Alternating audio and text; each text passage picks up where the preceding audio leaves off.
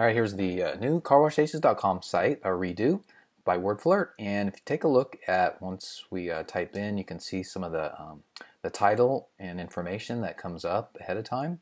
So you, one of the first things is you see here that we've got um, an SSL certificate installed, which is what you want to do for all your new sites. Um, and then what you see here on the home page, um, very nice uh, pictures. It kind of looks like a video with the Ken Burns effect. We've got multiple uh, pictures here going. Um, you can also see up here um, the, oh, you see a pop-up that comes up after a few seconds. This is their um, email opt-in, and you can always click on it here if you want.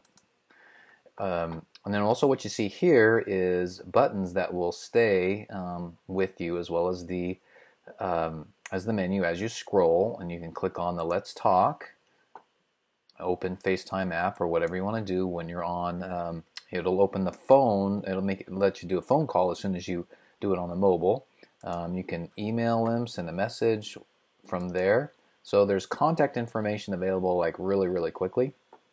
Here's their logo, and here's the different menu um, options. You can see here is the search. When you, you click on the search and you do something like financing, it searches ahead and pops up um, areas that will pertain to financing and you can look at more results. And click on the contact us button but then as we scroll you see what the site looks like here. Uh, so what we're taking people on is a journey through what carwashaces.com provides. Um, their experience, experience, you can learn more. Click on this button and go to the About page, learn more about them. Uh, but then here's the opportunity to call them. Nice uh, call to action. And then here's the, the equipment section. Uh, learn more. You see the nice hover over the button.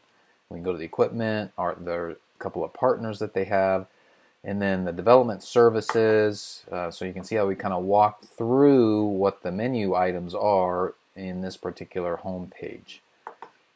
Building your car wash enterprise, so you can see where it just looks nice and clean. A great simple, clean font, uh, bolded to make certain things stack, uh, stand out, nice headings, great pictures. Each row has some has a little bit of a background, another is another is white, and um, what they have here is uh, business case studies. So these are pop-up videos that play automatically when you uh, click on them, and then of course social media you can share, and then a little bit in the uh, footer area that you can contact them and go to the different places as well. All right, so now let's go to one of the, let's go to the About page and take a look. We added a video here. It's not really a video, it's some jQuery that has some animation that shows where their headquarters is located at in the territory that they cover and a little bit of info on their executive team. Now the previous video of their old site was pretty plain. Here's a picture of Paul and it has um, description on him.